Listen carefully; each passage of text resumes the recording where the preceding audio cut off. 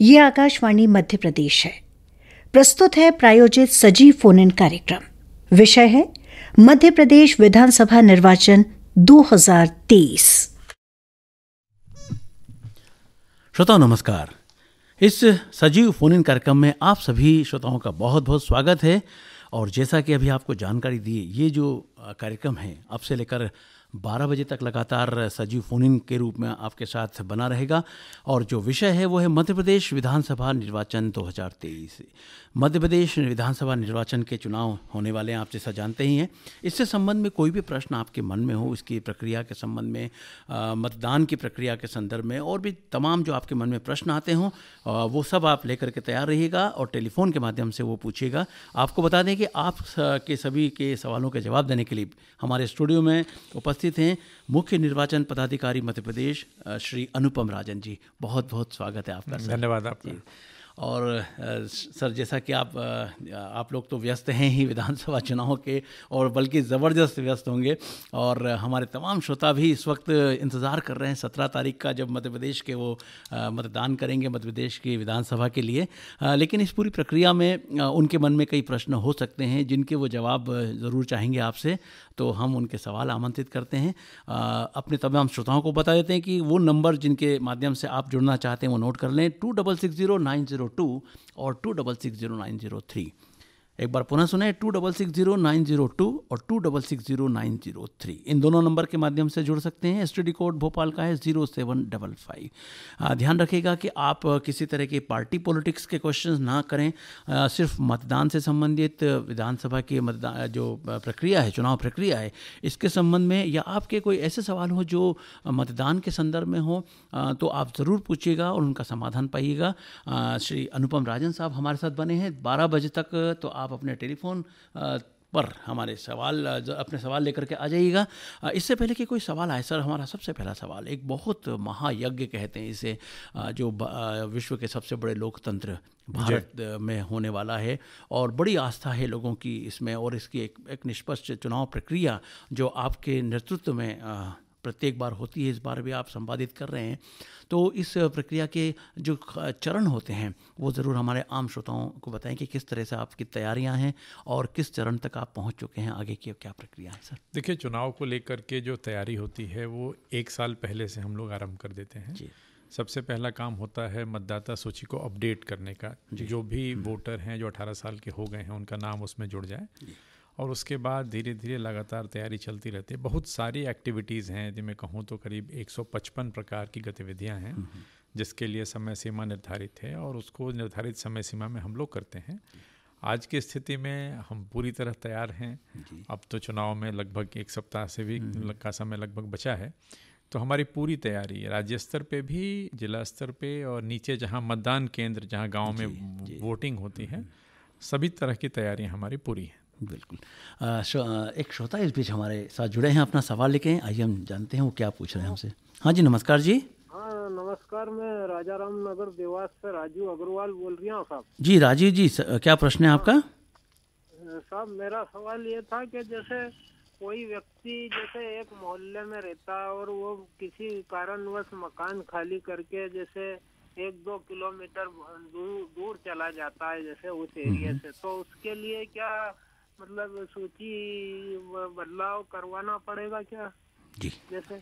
जी sir बता रहे देखिए आपका आपका सवाल अच्छा है। आपने कहा कि यदि कोई व्यक्ति वहाँ से एक दो किलोमीटर दूर जा कर के नई जगह रहने लगता है तो जहाँ भी आप रहते हैं एक दो किलोमीटर रहें या किसी दूसरे शहर में जाके रहें जहाँ भी आप रहते हैं वहाँ की मतदाता सूची में आपको अपना नाम जुड़वाना होता है।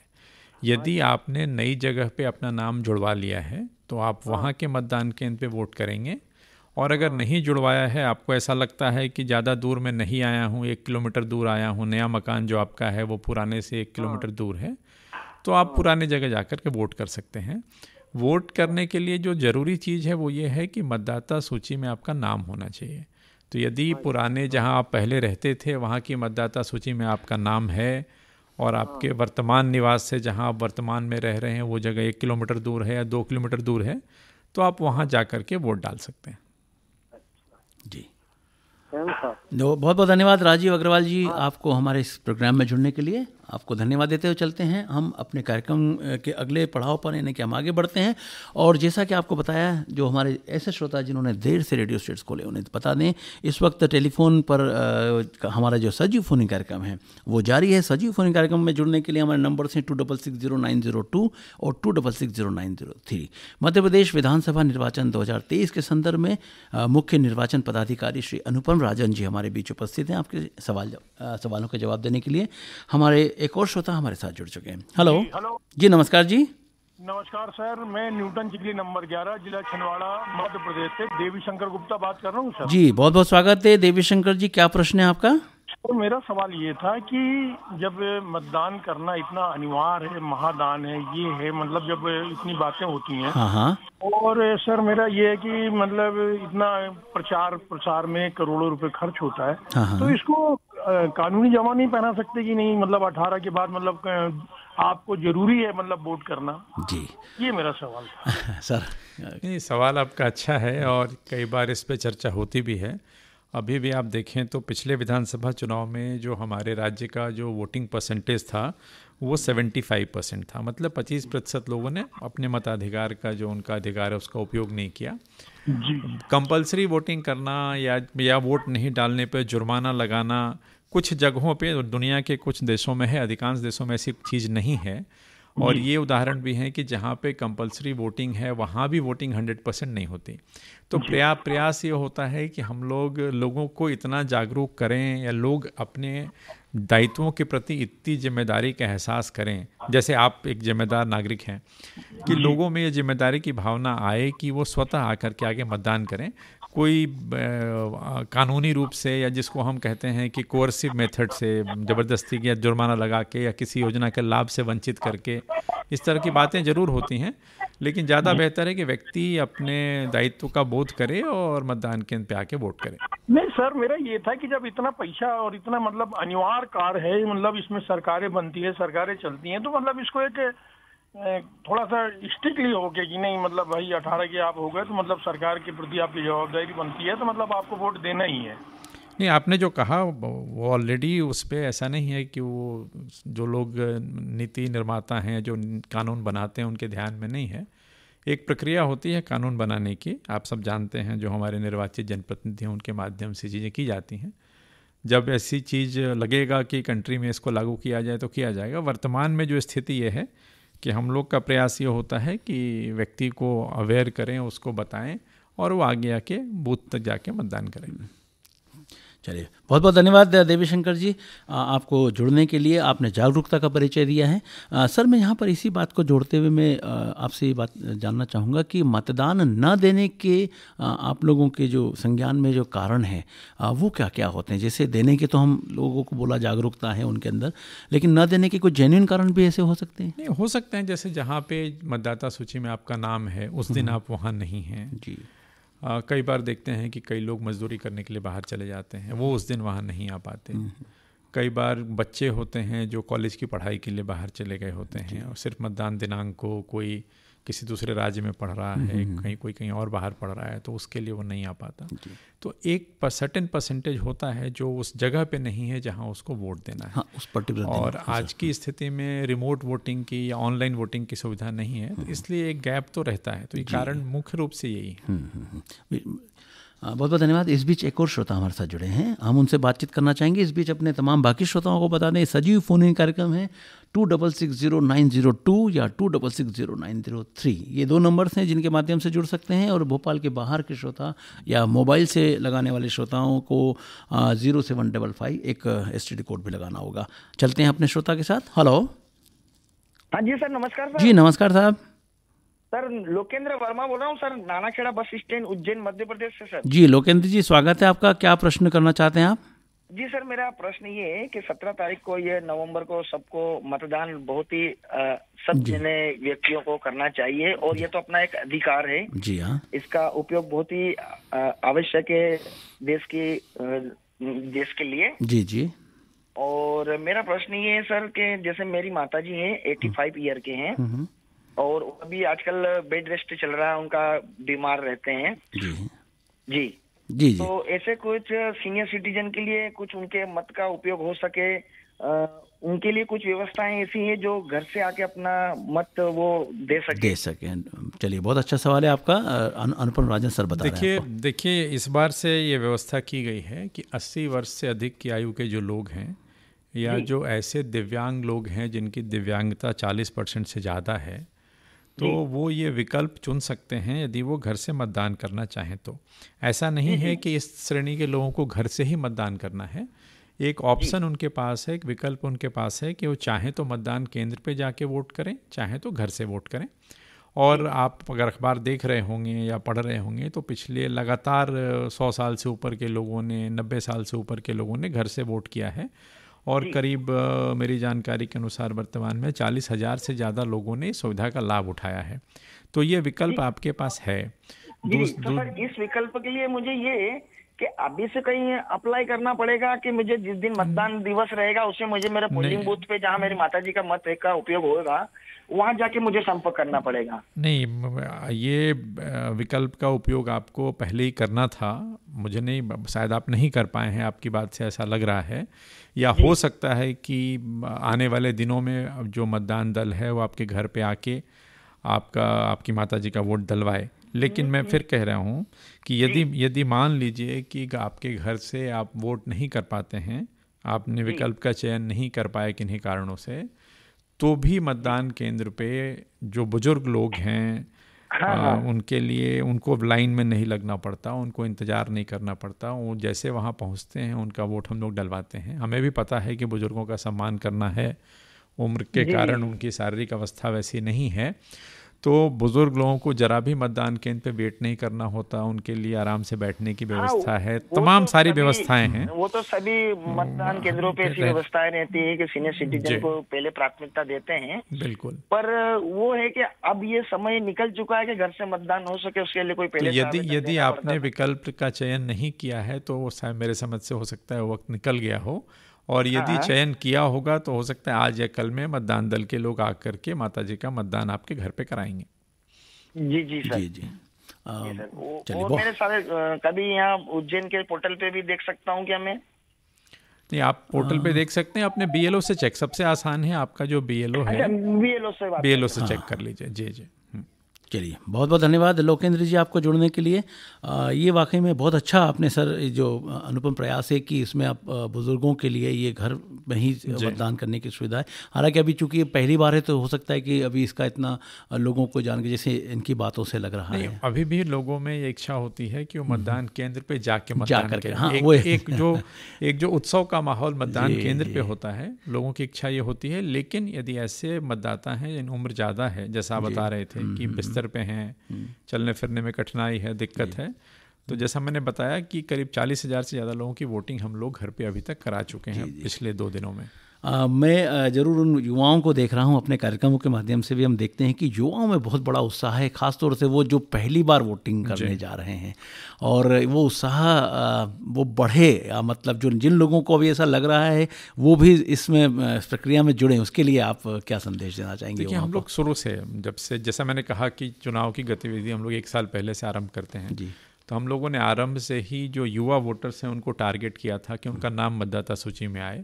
खास करके जो बच्चे अभी 18 साल के हो रहे हैं। हम्म, हम्म, तो ऐसे सभी लोगों का नाम हम लोगों ने जुड़वाया है। जी, जी, और अच्छी बात ये रही कि इस बार की वोटर लिस्ट में महिलाओं की संख्या में काफ़ी इजाफा हुआ नाम जोड़ने में और युवाओं की संख्या में काफ़ी इजाफा हुआ। तो हमारे जो युवा साथी हैं वो आगे बढ़ के उनका नाम मतदाता सूची में उन्होंने अपना नाम जुड़वाया है। और मुझे उम्मीद है कि सत्रह तारीख को जब मतदान होगा हम लोग लगातार उनके संपर्क में हैं। जितने डिफरेंट सोशल मीडिया के प्लेटफॉर्म्स हैं उनके हम्म। माध्यम से व्हाट्सएप ग्रुप के माध्यम से। तो मुझे उम्मीद है कि जो हमारे युवा साथी हैं जो फ़र्स्ट टाइम वोटर्स हैं उनमें एक उत्साह भी होगा और एक तरह से उनके लिए एक नया एक्सपीरियंस होगा कि वो अपनी सरकार को चुनने में अपनी भागीदारी निभा रहे हैं। बिल्कुल। ये अपने आप में एक बहुत अनुभव होता है अच्छा अनुभव होता है। ज़रूर वोटिंग करना चाहिए सिर्फ़ इस अनुभव के लिए ही नहीं बल्कि एक बहुत बड़ी ज़िम्मेदारी है आपके आपके कंधों पर अपने देश की अपने प्रदेश की सरकार चुनने का। ये अवसर हर किसी को नहीं मिला यदि आपको मिला है तो इसका महत्व समझते हुए आगे आना चाहिए। एक श्रोता इस बीच पर आगे आए हैं अपना टेलीफोन कॉल लेकर के और अपना प्रश्न लेकर के आइए हम पूछते हैं उनसे। हेलो। हाँ जी सर। जी नमस्कार। नमस्कार सर नमस्कार। जी। अपना परिचय दीजिए। जी मैं सर चित्रकूट क्षेत्र से बोल रहा हूँ दिनकर सिंह। अच्छा अच्छा। दिनकर जी क्या प्रश्न पूछना चाहते हैं आप? प्रश्न मेरा ये है कि जैसे हम अपने विधानसभा अपने गाँव से या अपने विधानसभा क्षेत्र से किसी दूसरी जगह पे हैं। जी जी। वोटिंग के दिन। हाँ हाँ। तो अब चूँकि ये डिजिटल व्यवस्था हो गई है तो हम अपना अगर वोटिंग परिचय पत्र के साथ हाँ हाँ। किसी दूसरे वोटिंग बूथ पर जो है वोट डाल सकते हैं और वो, वो वोट हमारे जो है विधानसभा क्षेत्र आ सकता है। आ, सर ऐसे कोई प्रावधान है? नहीं आज अगर ऐसा ऐसा है तो सर इसमें क्या आगे चुनाव आयोग ऐसी व्यवस्था कर कर सकती है? चलिए देखिए देखिए देखिए दो दो प्रश्न है आपके। पहले प्रश्न का उत्तर यह है कि वर्तमान में ऐसी व्यवस्था नहीं है। आप अपनी विधानसभा क्षेत्र के अतिरिक्त कहीं दूसरी जगह पे हैं तो वहाँ जा। कर के इस विधानसभा के लिए वोट डाल पाना आज की तारीख में संभव नहीं है। जी लेकिन मैं, सर जो आज के जमाने में जो मैं मैं मैं आ रहा था आपके इसीलिए मैंने कहा कि आपके दो प्रश्न हैं। पहले प्रश्न का उत्तर दिया कि आज की तारीख में संभव नहीं है। मतलब ऐसी व्यवस्था नहीं है। संभव नहीं गलत वर्ड है व्यवस्था नहीं है। और दूसरा प्रश्न जो आपका था कि क्या आयोग चुनाव आयोग इस तरह की प्रक्रिया पे विचार कर रहा है डिजिटल युग में? तो इसका उत्तर है कि हाँ विचार कर रहा है और हो सकता है कि आने वाले दिनों में इस तरह की व्यवस्था हमें देखने को मिले। जी जी जी। और सर एक चीज़ मैं मतदाताओं से अपील कर सकता हूँ एक मेरे पास शायरी है। ज़रूर ज़रूर। स्वागत है आपकी शायरी का। मौका है दस्तूर है। हम्म, हम्म। मौका है दस्तूर है। लोकतंत्र का छाया सुरूर है। हम्म, और तोड़ देना इस बार सारी गुरूर है।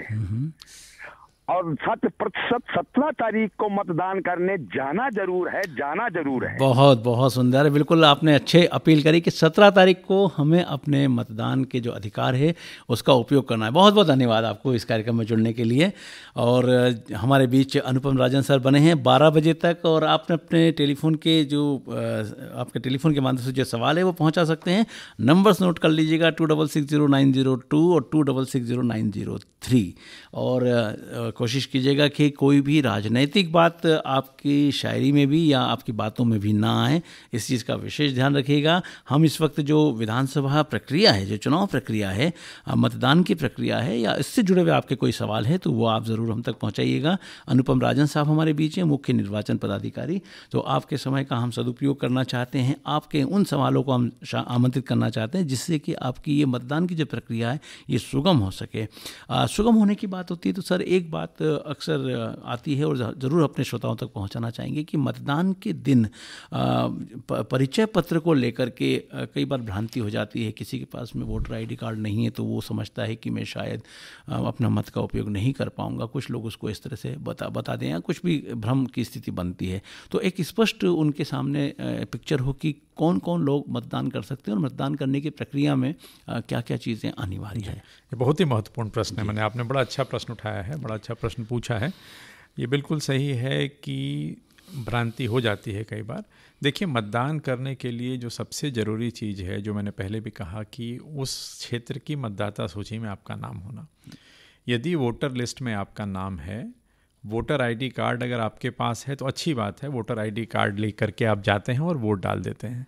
यदि वोटर आईडी कार्ड नहीं है, किन्हीं कारणों से, या घर में नहीं मिल रहा है, गुम हो गया, कुछ भी हो गया है तो ज़रा भी परेशान होने की, निराश होने की ज़रूरत नहीं है।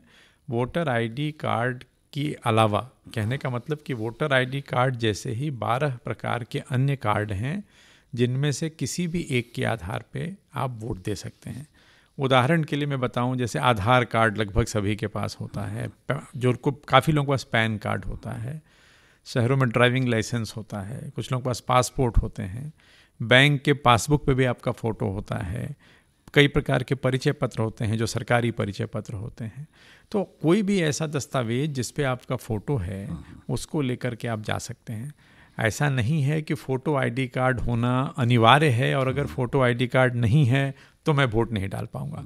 तो ये जो आपने कहा कि कुछ लोगों में इसको लेके भ्रम है, वो हम बिल्कुल क्लियर करना चाहते हैं, सभी को बताना चाहते हैं कि यदि किन्हीं कारणों से आपके पास वोटर आईडी कार्ड नहीं पहुँचा, नहीं मिल रहा है, घर में गुम हो गया है, टूट, कट फट गया है, ख़राब हो गया है तो भी कोई बात नहीं। अगर आपके पास आधार कार्ड है, आप आधार कार्ड लेकर के चले जाइए, पैन कार्ड है, पैन कार्ड लेके जाइए, ड्राइविंग लाइसेंस है, ड्राइविंग लाइसेंस लेकर के जाइए। कोई भी चीज़ इस तरह का लेके जाइए हम लोग इसको विज्ञापित भी कर रहे हैं अखबारों के माध्यम से भी और चुनाव के समय मतदान केंद्र पे भी इसकी सूची लगाते हैं। जो। पीठासीन अधिकारी जो मतदान दल होता है वो इसको स्वीकार करता है और आप वोट डाल सकते हैं। बिल्कुल उद्देश्य ये है कि हम सिर्फ़ आइडेंटिटी सिर्फ़ देखें सिर्फ़ आपकी पहचान करने हाँ, का रोकना नहीं है कतई नहीं है। मतदाता सूची में नाम है जी, जी। और जितने प्रकार के कार्ड की हम लोगों ने बात करी उसमें से कोई भी एक कार्ड लेके आप जाइए आप वोट डाल सकते हैं। जी बहुत बहुत धन्यवाद इस बातचीत के लिए। और एक और श्रोता अपना सवाल लेकर के इस बीच हमारा है। जी नमस्कार साहब आपका।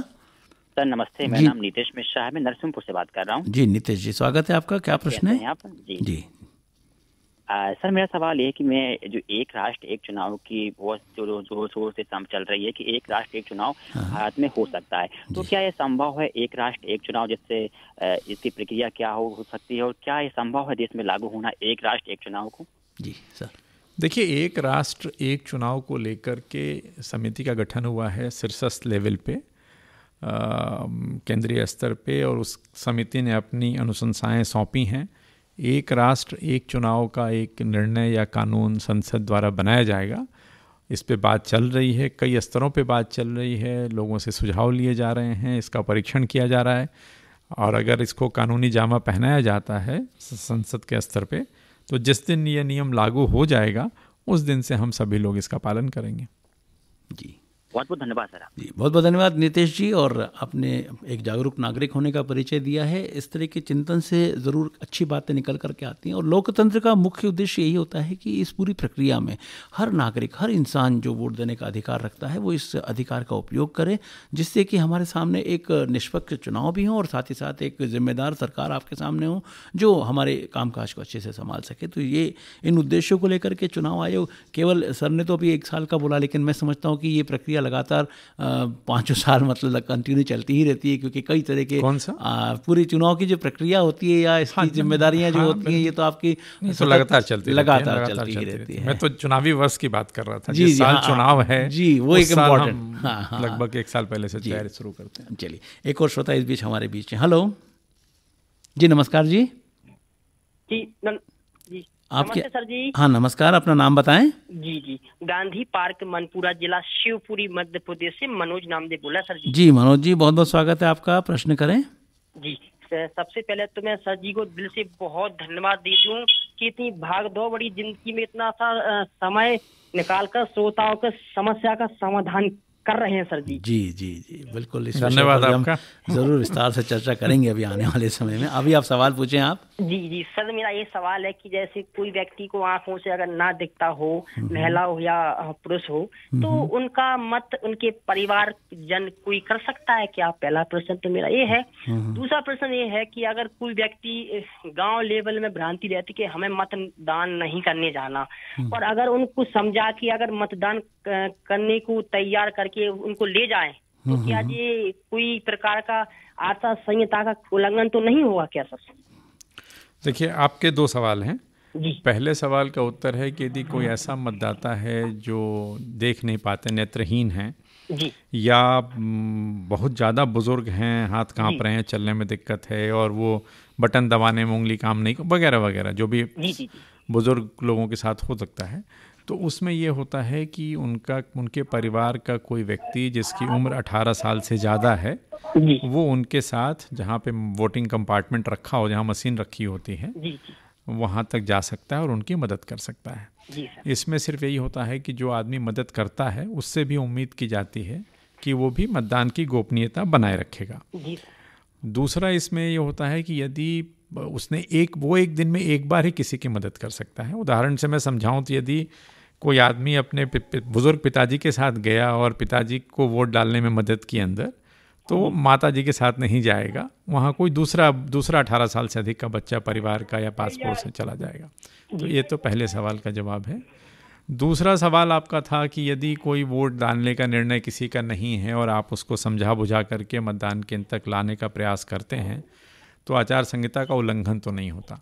अब इसमें देखना पड़ेगा कि आपका जो प्रयास है वो किस प्रकार का। एक हुआ किसी को सिर्फ़ समझाना कि चलो वोट डालने चलो। और यदि आपके प्रयासों में कोई राजनीतिक संबद्धता हो जैसे कि या हम वोटर्स को ढो करके ले जा रहे हैं इस तरह की चीज़ हो तो वो आचार संहिता का उल्लंघन है।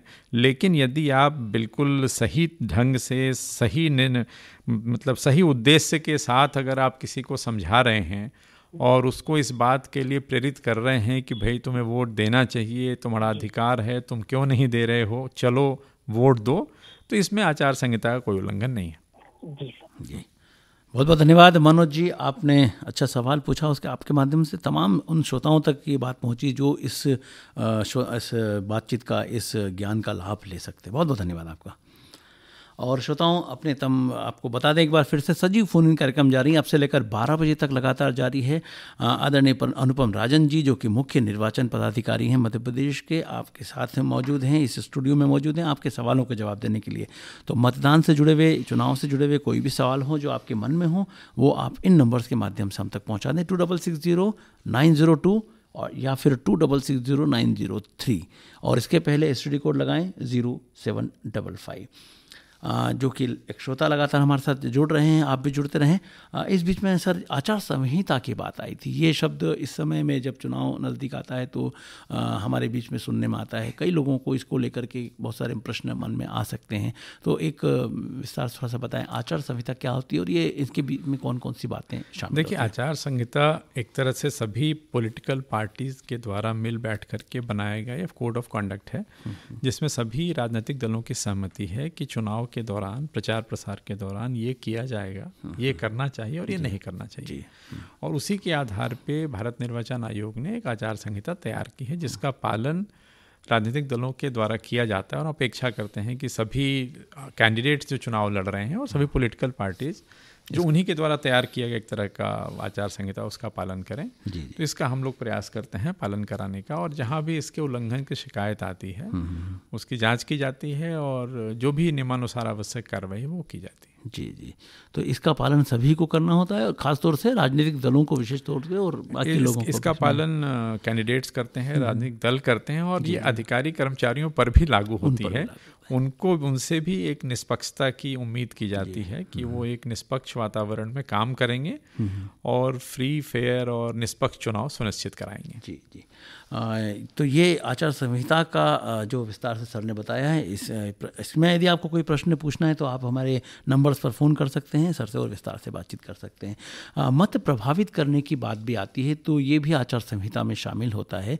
तो इसके लिए यदि इस तरह की कोई गतिविधि होती है तो क्या क्या प्रावधान होते हैं खासतौर से आम जन के लिए उनको क्या हाँ मतलब जैसे जैसे आचार संहिता लागू होती है चुनाव की घोषणा के साथ ही तो हम जानते हैं कि धन बल और बाहुबल कई बार इनका उपयोग होता है मतदाताओं को डराने धमकाने में या मतदाताओं को अनैतिक तरीके से प्रभावित करने में। तो चेकिंग्स की कार्रवाइयाँ बढ़ जाती हैं गाड़ियों की चेकिंग होती है नाकों पे पुलिस होती है।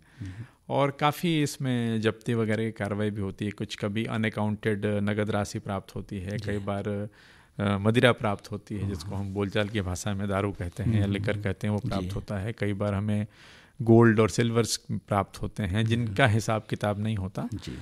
तो इस तरह की चीज़ें भी बरामद होती हैं कुछ ऐसे आइटम्स भी होते हैं जैसे हज़ारों की संख्या में साड़ियाँ हों कंबल हों घड़ी हो जो। शायद जिसके माध्यम से मतदाता को प्रभावित किया जा सकता हो।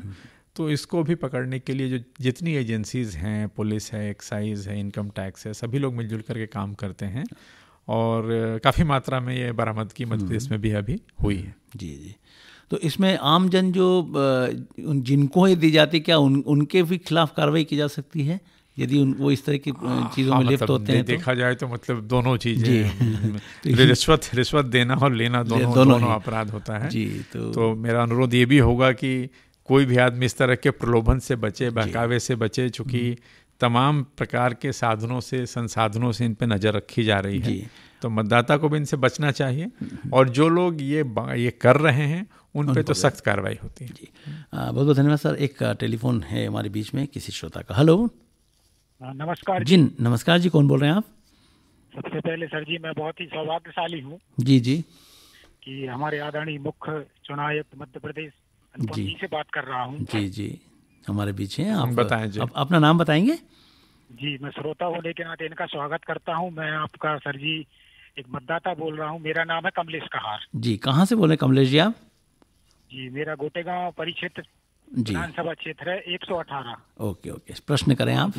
हम्म। बूथ क्रमांक सर जी अस्सी है। जी जी जी अब सवाल करें। हम्म। प्रश्न सर जी ये है कि मतदाता परिचय परिचय जो आप पर्चियाँ जो दी जा रही हैं सर जी हम्म, कि उन पर्चियों को ही लेकर जा सकते हैं कि हमारा मतदाता जो वोटर आईडी उसे लेकर भी जाना पड़ेगा? देखिए आपका प्रश्न बहुत ही बहुत ही उत्तम है। मैं मैंने काफ़ी अच्छा प्रश्न किया है आपने। यदि आप नहीं कोई नहीं करता तो मैं इसके बारे में आपको बताता अंत में लेकिन आपने अच्छा किया बीच में पूछा है। बहुत अच्छा प्रश्न। देखिए मतदाता पर्ची बांटने का काम अभी चल रहा है। कुछ कुछ मतदाताओं तक हम पर्चियाँ उनको मिल गई हैं कुछ लोगों को मिल जाएँगी अगले एक दो दिनों में। बीच में दिवाली त्यौहार भी है। सवाल यह है कि मतदाता मतदाता पर्ची सिर्फ़ आपको ये बताता है उस पर आपका फ़ोटो नहीं होता। मतदाता पर्ची से सिर्फ़ ये पता चलता है कि आपका बूथ नंबर कौन सा है, मतदाता सूची में आपका क्रमांक कौन सा है। वो पर्ची लेकर के जब आप जाते हैं अंदर तो जो पीठासीन अधिकारी होता है, उसको आपका नाम ढूँढने में सहूलियत होती है। जैसे आप अंदर गए और उस पर्ची पे आपकी सरल मतलब सरल क्रमांक दो सौ पंचानवे लिखा है तो पीठासीन अधिकारी अपनी मतदाता सूची पलटता है, दो सौ पे चेक करता है, आपका नाम दिखता है, वो टिक करता है, आपको आगे बढ़ा देता है। यदि मेरे पास वो पर्ची नहीं होती है और मैं सिर्फ़ अपना नाम बताता हूँ तो उसको उस सूची में नाम ढूंढना पड़ता है जिसमें काफ़ी समय लग जाता है। लेकिन लेकिन मतदाता पर्ची सिर्फ़ मतदाता पर्ची के आधार पे आप वोट नहीं दे सकते। चूँकि उस पर फ़ोटो नहीं होता तो मतदाता पर्ची के साथ साथ जो हम लोगों ने पहले बात की कि तेरह प्रकार के जो दस्तावेज़ हैं उसमें से कोई भी एक अगर वोटर आईडी है तो अच्छी बात है वो नहीं है तो कोई बात नहीं। पैन कार्ड हो आधार कार्ड हो वो भी लेके आप जा सकते हैं और उसके आधार पर वोट दे सकते हैं। सर जी एक बात एक बात रख दूँ आखिरी में। जी। जी। हम मतदाता निभाएँगे अपना अपना दस्तूर सत्रह नवंबर को वोट देने जाएँगे ज़रूर। नहीं, नहीं बहुत अच्छी बात। मैं एक बात और आपको मतदाता पर्ची से संबंधित ही बता दूँ। कई बार ये भी भ्रम हो जाता है गाँव में और आप चूँकि इतने जागरूक मतदाता हैं और आपके कारण इतने सारे लोग जो सुन रहे हैं ये बात स्पष्ट ये बात रोकना चाहेंगे। जी, जी मैंने तो मतदाता परिचय जो बूथ है क्रमांक उसकी फ़ोटो सही भी मैंने डाली है अपनी उस पर कि यहाँ पे आके वोट डालें लोग। जी। हम्म। हाँ, हाँ। जो रहती है अपनी आईडी मोबाइल की उस पर डाली सर जी मैंने अपना परिचय पत्र भी डाला। लोगों को जागरूक करने के लिए मैं सर जी वोट के रोज ही कुछ ना कुछ लिखता अच्छी बात है। बहुत अच्छी बात आप जैसे जागरूक लोगों की बहुत आवश्यकता आप आप आप ये सुन लीजिए मेरी बात। मैं ये कहना चाह रहा हूँ कि कई बार लोगों को ये भ्रम भी हो जाता है कि हमको अगर वोटर स्लिप नहीं मिली, मतदाता पर्ची नहीं मिली तो मैं वोट नहीं डाल पाऊँगा। ये भी गलत है। अगर आपको मत, किसी को मतदाता पर्ची किन्हीं कारणों से नहीं मिल पाई है तो भी उसका कतई मतलब नहीं है कि आप वोट नहीं डाल पाएँगे। आप मतदान केंद्र पे जाइए। आपके बाहर में बीएलओ एक बूथ लगा के बैठा होता है। आपको पर्ची नहीं मिले, आप बीएलओ को बताइए। पर्ची का मतलब सिर्फ़ आपका सरल क्रमांक है, आपका सीरियल नंबर क्या है बीएलओ आपका सीरियल नंबर बीएलओ आपको एक छोटी सी पर्ची दे देगा, वो लेकर के आप अंदर जा सकते हैं। तो अगर मतदाता पर्ची नहीं मिली है तो इसका मतलब ये नहीं है कि आप वोट नहीं दे सकते। आपका नाम मतदाता सूची में है, आप वोट दे सकते हैं। तो आपके पास मतदाता पर्ची नहीं है तो भी आप वोट दे सकते हैं। आपके पास वोटर आईडी कार्ड नहीं है तो भी दूसरे कार्ड की मदद से आप वोट दे सकते हैं। तो चूँकि आप इतने जागरूक हैं, इसका भी प्रचार प्रसार करिए, लोगों को बताइए। जी।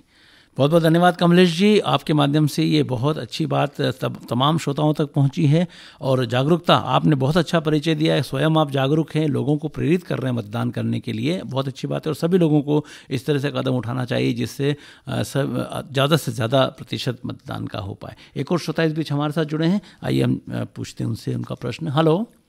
हेलो सर नमस्ते। जी नमस्ते जी। मैं धर्मेंद्र लोधी बात कर रहा हूँ ग्राम शेखपुर जिला सागर से जी धर्मेंद्र जी बहुत बहुत स्वागत आपका जी, सर। जी क्या प्रश्न पूछना चाहते हैं आप सर मैं आदरणीय राजन जी से पूछ रहा हूँ कि सर अपने मध्य प्रदेश में जितने भी मतदान केंद्र हैं हम्म। क्या इनकी जानकारी पोर्टल पे उपलब्ध है सर और एक सवाल और सर कि हम्म, हम्म। जब पिछली बार आप प्रोग्राम में आए थे तो मैंने आपसे पूछा था कि सर जो नए मतदान केंद्र जैसा कि आपने कहा था कि हम लोग बना रहे हैं और जो नए मतदान केंद्रों को हमने चिन्हित किया है तो क्या उन नए केंद्रों की जानकारी हमें मिल सकती है ताकि हम देख सकें कि क्या हमारे यहाँ भी जो कि मतदान केंद्र खुलना था खुला है या नहीं? जी सर बता रहे हैं आप जितने मतदान केंद्र हैं आज की तारीख में मध्य प्रदेश में चौंसठ हज़ार पाँच सौ तेईस मतदान केंद्र हैं। जी सर। इन सभी की सूची पोर्टल पे उपलब्ध है और जो भी नए मतदान केंद्र बने हैं उनकी जानकारी भी उपलब्ध है आप चेक कर सकते हैं। इसके अलावा 103 सहायक मतदान केंद्र भी हम लोग बना रहे हैं चौंसठ हज़ार पाँच सौ तेईस के अतिरिक्त। ऐसे मतदान केंद्र जहाँ पे मतदाताओं की संख्या 1550 से ज़्यादा है वहाँ पे एक और उसी बिल्डिंग में या उसी जगह पे एक और सहायक मतदान केंद्र बना रहे हैं ताकि एक ही जगह पे ज़्यादा वोटर की लंबी लाइन न लगे। तो समझ लीजिए कहीं मान लीजिए 1600 मतदाता हैं तो पहले वहाँ एक बूथ होता था अब दो बूथ हो जाएगा। स्कूल के पहले एक कमरे का उपयोग करते थे अब दो कमरों में करेंगे। और उसको 800 800 में बांट देंगे तो 800 मतदाता एक मतदान केंद्र में हो जाएँगे 800 सहायक में हो जाएँगे तो आसानी से वोटिंग हो जाएगी और ज़्यादा लंबी लाइन नहीं लगेगी लोगों को ज़्यादा इंतज़ार नहीं करना पड़ेगा। ठीक है सर। हम्म। ये मध्य प्रदेश निर्वाचन आयोग की वेबसाइट पे मिल जाएगा सर? बिल्कुल सारा कुछ मिल जाएगा आप देख लीजिए। जी।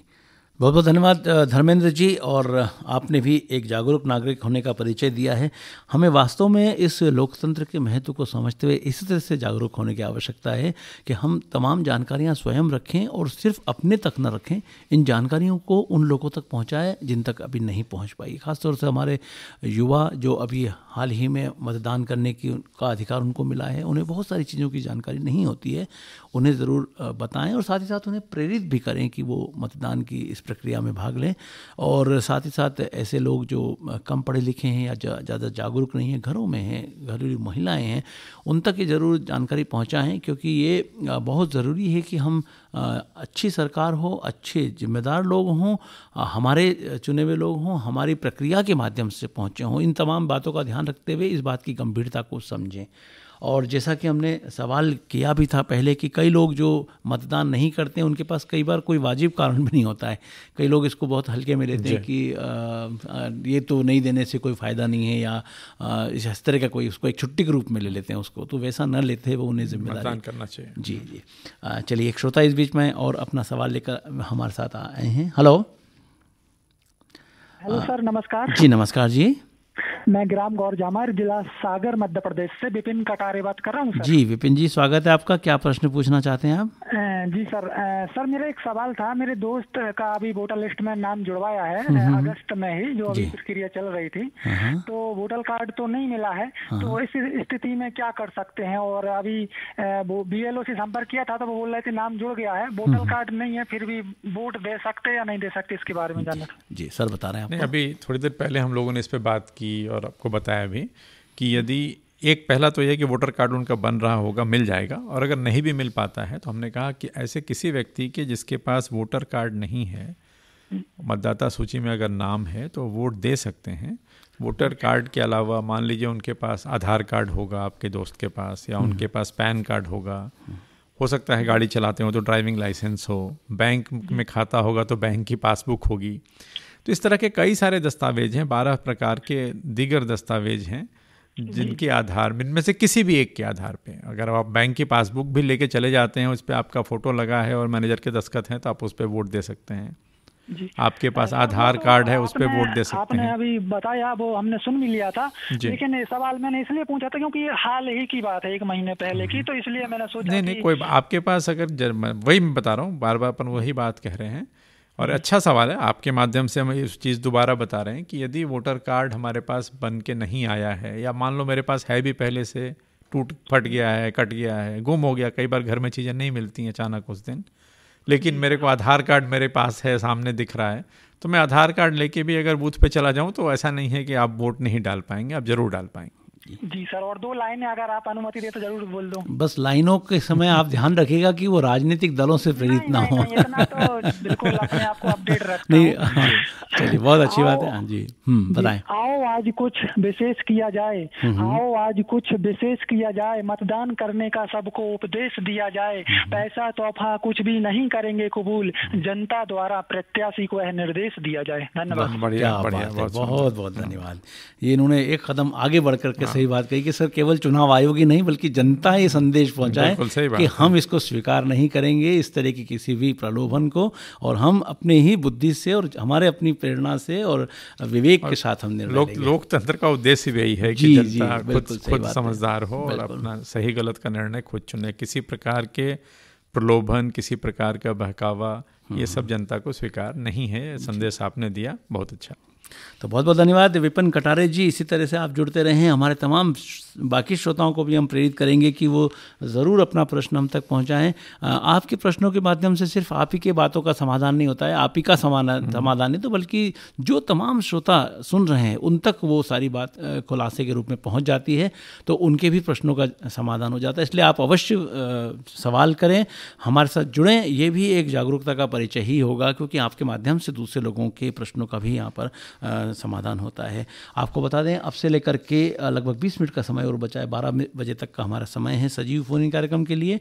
और इसमें हमारे बीच उपस्थित हैं मुख्य निर्वाचन पदाधिकारी श्री अनुपम राजन जी, जो आपके सवालों के जवाब दे रहे हैं।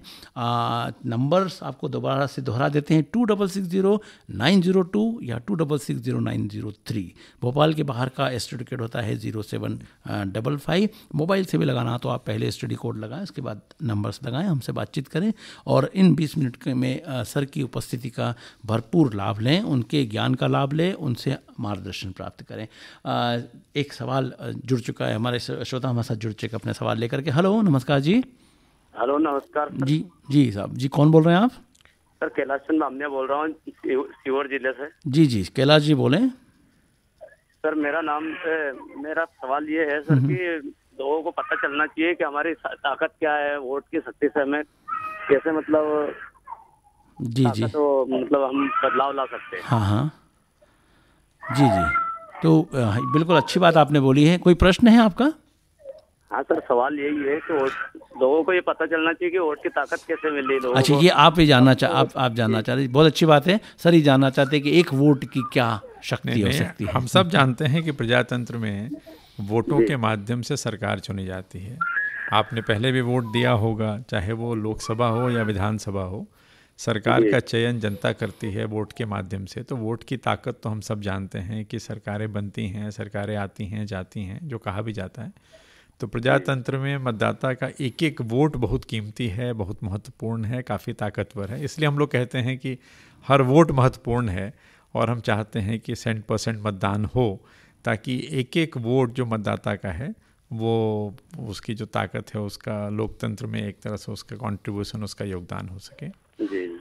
जैसे सर, मैं तो ये मानता हूँ कि वोट हमारे लिए, वो संचित शक्ति है जो पाँच सालों में हम अपने दुखों का निवारण कर सकते हैं और आने वाले दिनों को सुखों में बदलाव ला सकते हैं। बिल्कुल बिल्कुल सही कहा आपने और ये भावना ही है इस लोकतंत्र की आत्मा है ये। हम यदि अपने वोट की शक्ति को समझेंगे तो ही हम अपने एक बहुत अच्छा हम लोग काम कर सकेंगे और इस लोकतंत्र को हम सफल कर सकेंगे। और बहुत बहुत जी। जैसा कि सर पहले लोकतंत्र नहीं था जब राजतंत्र होता था वो तलवार के दम पे होता था। हम्म, हम्म। जी तो जी। आज आज वोट की शक्ति है लोग बिल्कुल बिल्कुल। के लिए सहमत होना चाहिए कि वोट हमें देना ज़रूरी बिल्कुल, है। बिल्कुल वही हथियार हमारे पास है वो है हमारा अपना वोट है ना? चलिए बहुत अच्छी बात है। जी।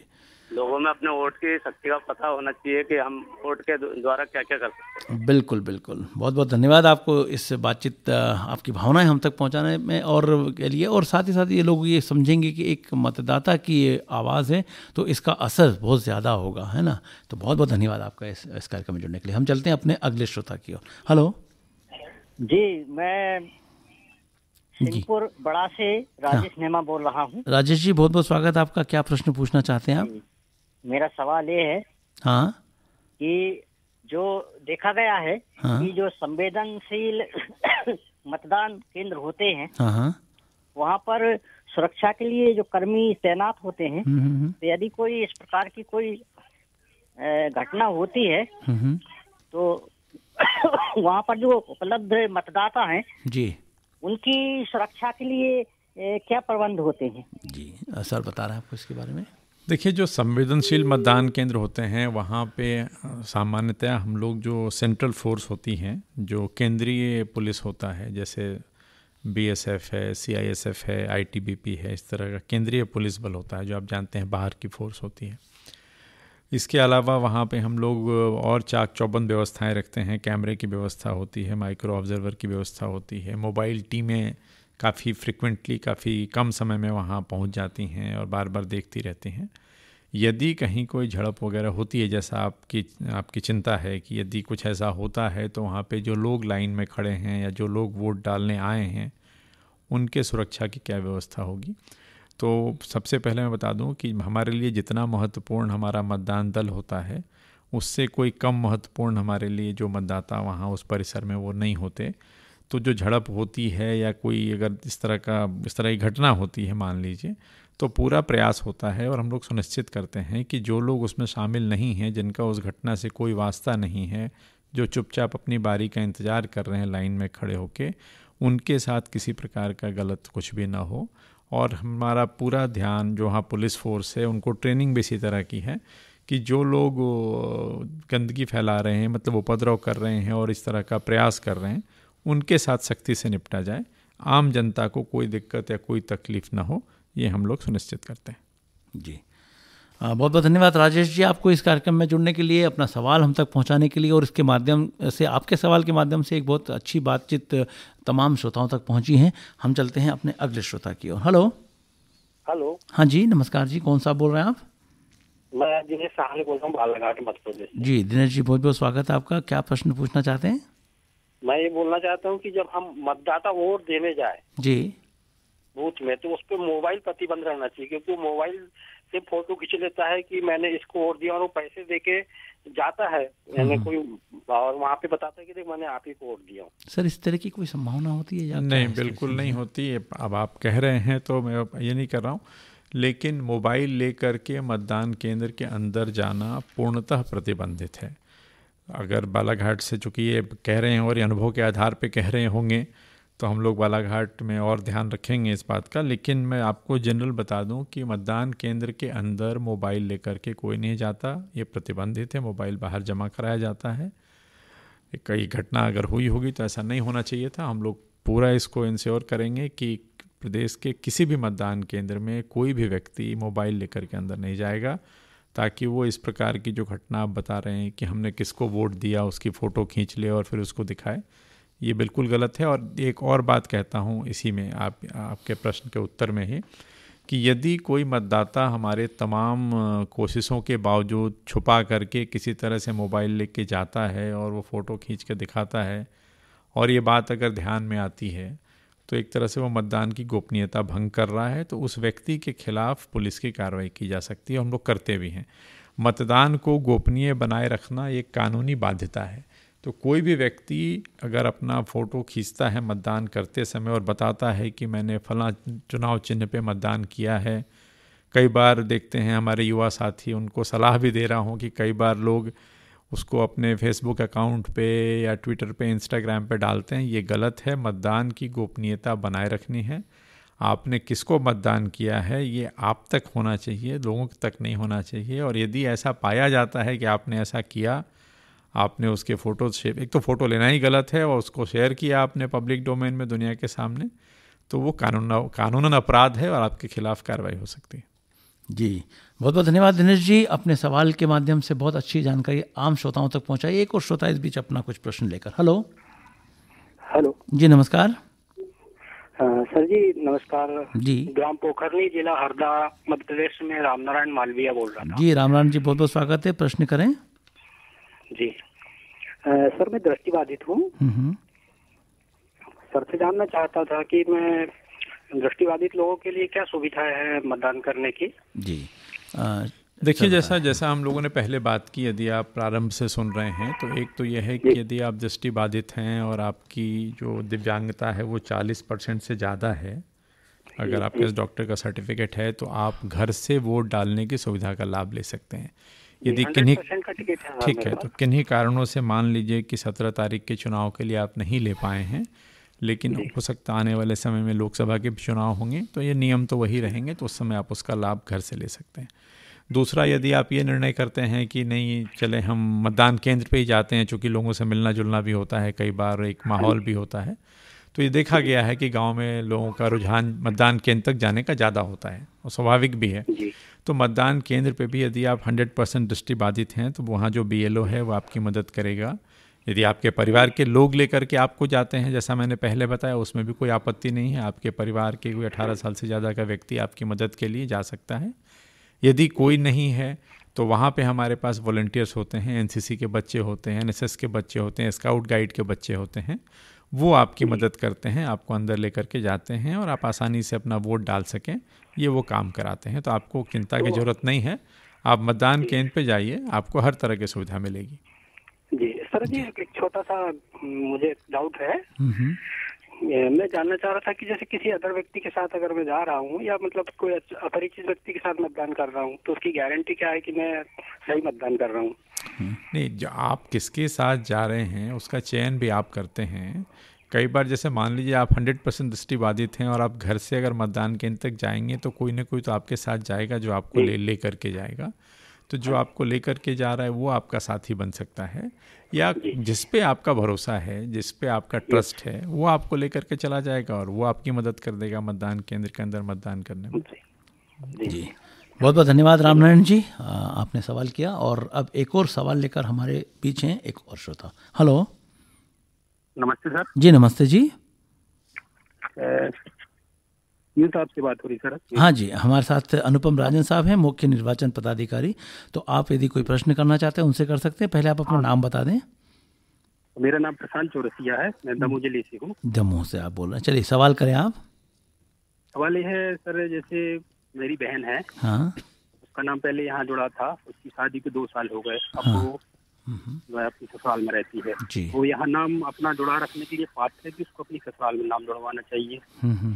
देखिए देखिए नियमानुसार जो जहाँ रहता है उसको वहीं नाम जुड़वाना चाहिए। जैसा आपने कहा कि आपकी बहन की शादी दो साल पहले हो गई ससुराल में है तो उनके लिए उनके लिए भी यहाँ आना हर बार चुनाव के समय शायद संभव न हो। कई बार पारिवारिक कारणों से आदमी नहीं आ पाता।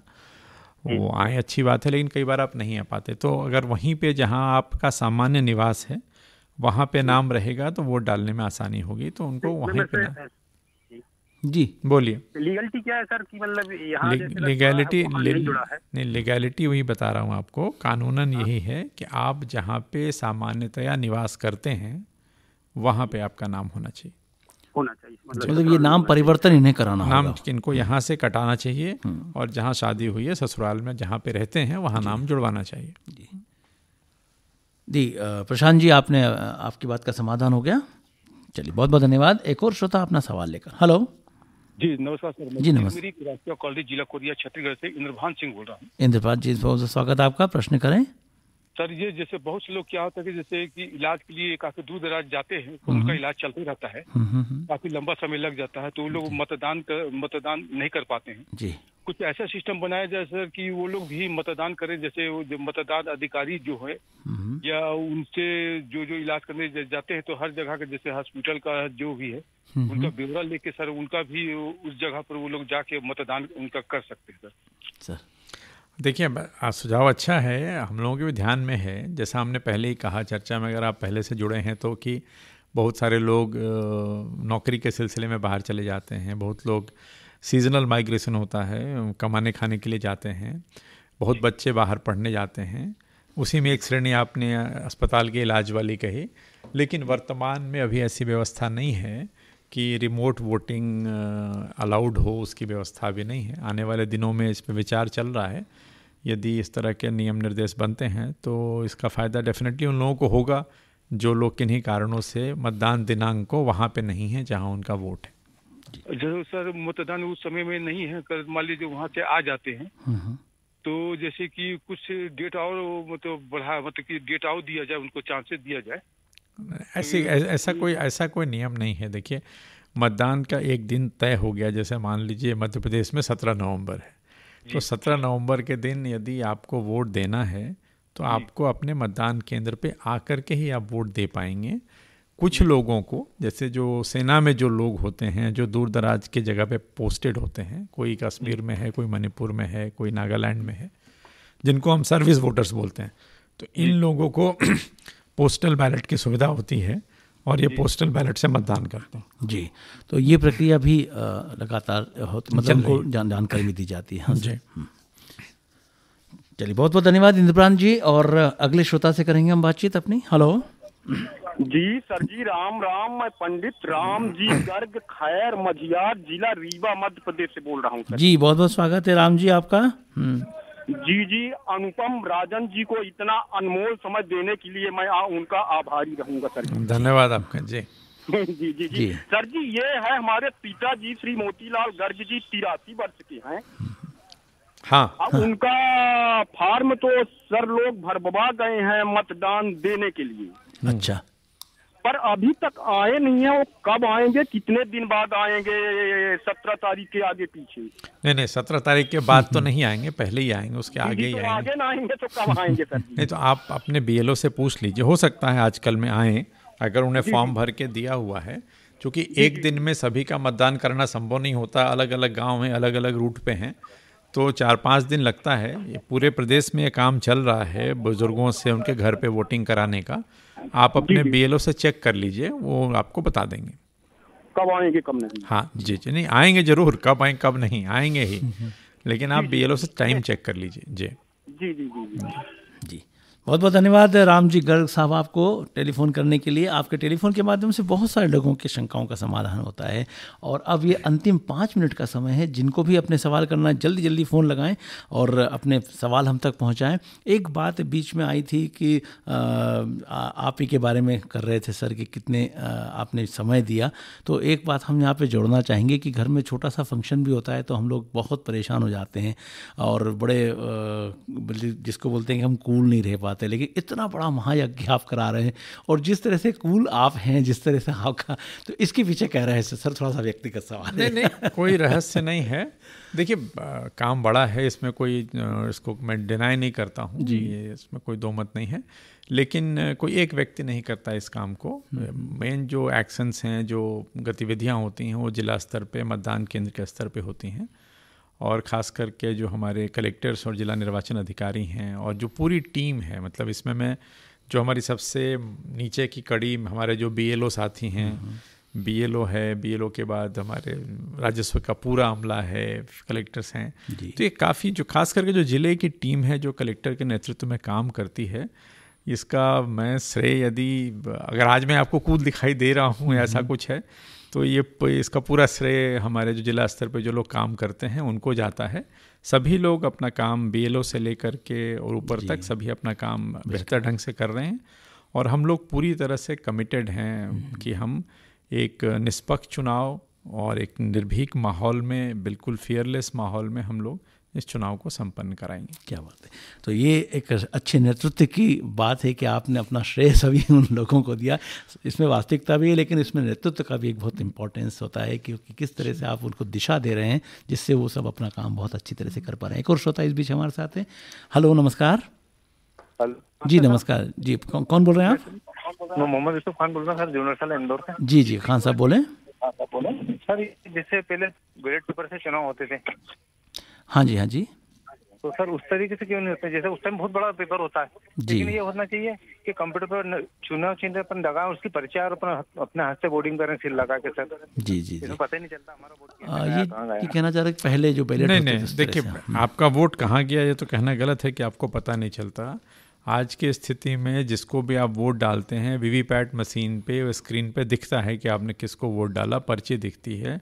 सात सेकंड तक वो पर्ची होती है। बड़े आराम से देख पाते हैं कि जिस चुनाव चिन्ह को आपने वोट किया है, वही पर्ची सामने दिखती है और वही पर्ची कट के बक्से में गिरती है। बाद में उसके में सेलेक्टेड मशीनों की उस पर्ची से मिलान करके गणना भी, गिनती भी की जाती है, उसको रीचेक किया जाता है।